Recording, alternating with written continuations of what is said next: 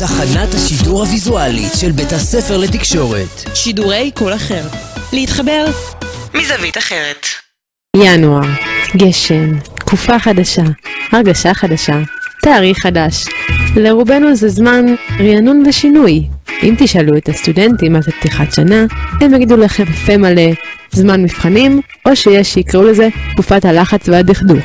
כך קשה לי, אני, אני, אני לא יכול uh, לבוא uh, כי יש לי, אני בתקופת מבחנים. אני לא יכול לנשום, אני בתקופת מבחנים. די כבר לדחוף לכולנו, ב... אני, אני בתקופת מבחנים! אני, אני, אני סטודנט. כל סטודנט נראה לי עובר לפחות uh, שני uh, משברים כל שבוע של uh, מי אני, למה אני, בשביל מה אני צריך את התואר הזה. אני אישית פרסתי את התואר כדי שאני אוכל לעבוד תוך כדי. אם אני יודעת שיש לי עבודה להגשה למחר, שעוד לא סיימתי, אני לא אלך לעבוד, או אני לא אצא עם חברים. תמיד קשה לראות את האור שבקצה המנהרה, עם כל המבחנים וה...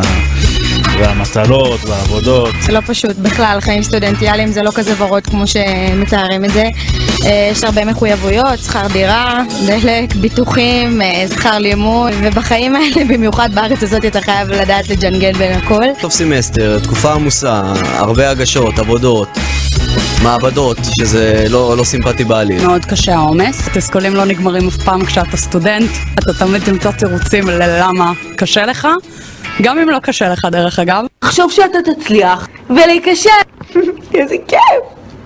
מועד ב' שוב פעם! יש תקופות מבחנים, אני יודעת שיש לי מבחנים, אני לא יודעת על מה, אני לא יודעת מי המרצה, אני לא יודעת באיזה קורסים.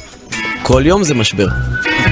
זה סיוט, זה נורא, וזה מלא כסף. אתה אף פעם לא מרגיש שאתה מוכן, אתה תמיד רודף אחרי עצמך במהלך הסמסטר, אבל אה, ברגע שאתה מתחיל תקופת מבחנים, אתה שם רגל על הגז ומתחיל ללמוד מההתחלה בשביל אה, להצליח לעבור את המבחן. וכשיש תקופת מבחנים אנחנו פשוט אה, לומדים בקבוצות מהבוקר עד הערב, איפה שיש זמן.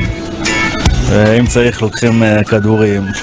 יש את אבא, ויש את אבא, ויש את אבא, זה מה שיש. שורדים לאט לאט, לאט ובזיכוי. היום בבוקר הבנתי ששבוע הבא זה השבוע האחרון של הסמסטר. אני לא יודעת מה למדתי בסמסטר הזה, אני לא יודעת על מה אני אבחן. אני פשוט מקווה לנס. דיכאון, לגמרי דיכאון. את שבעת את החומר. תחנת השידור הוויזואלית של בית הספר לתקשורת. שידורי קול אחר. להתחבר מזווית אחרת.